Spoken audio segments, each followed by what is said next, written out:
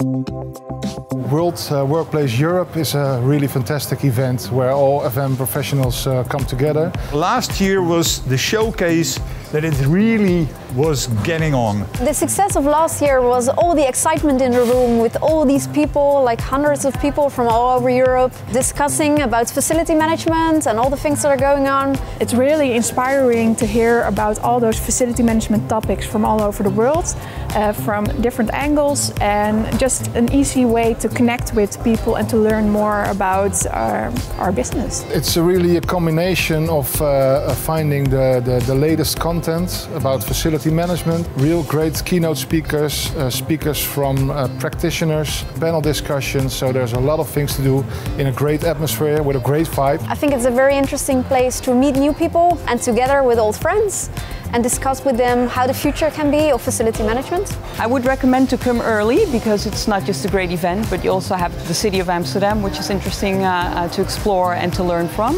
It's an event for uh, facility professionals for today, but also for tomorrow and even the day after tomorrow. And if you uh, would like to uh, gather knowledge and learn more about uh, this fascinating world, you should be there.